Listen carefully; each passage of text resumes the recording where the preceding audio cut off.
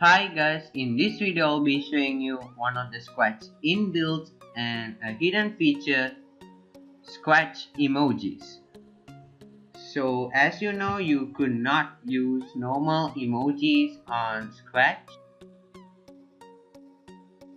and if you try using normal emojis Scratch would automatically delete them. So as a solution Scratch has inbuilt emoji so these are Scratch inbuilt emojis. Uh, so there are basic emojis as well as cat emojis which look very cool. So some of you might probably know this feature and might be using it and some may be seen this on the website on some comments but doesn't know what this is or maybe this is your first time you heard about Scratch emoji.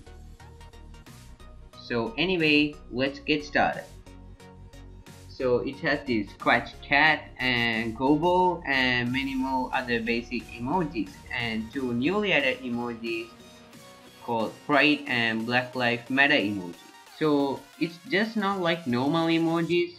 To use these emojis on scratch we need to type using text and then scratch would automatically turn them into these cool emojis so first let's look how to type this scratch cat emoji. So lowercase and type meow. And make sure you don't keep any spaces and make sure you type it correctly. And then if you click on post you see our text has been converted into an emoji. So that's really cool and if you type gobo and pizza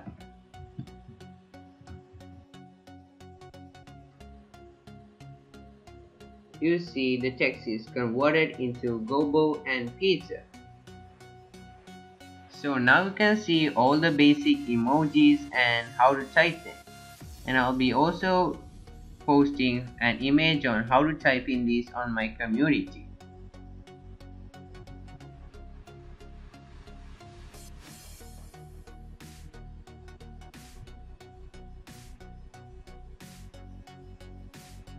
So now let's look how to type these really cool scratch cat emojis.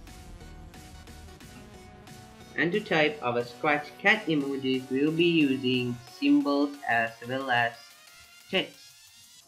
So to get this smiley cat face, T and now if you post it, you will see it will be converted into a smiley cat emoji.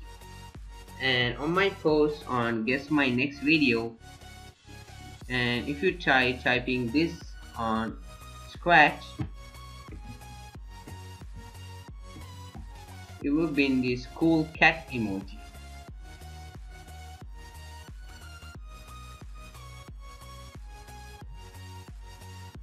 So that was my guess my next video so cool. And now on the screen you could see all the scratch cat emojis and how to type them. And you could also check my community to see how to type these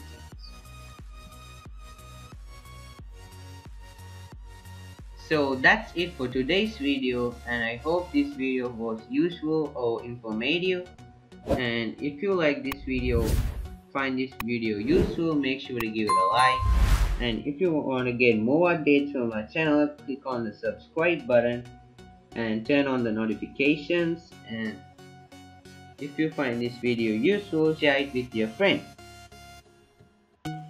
so see you with another awesome Scratch tutorial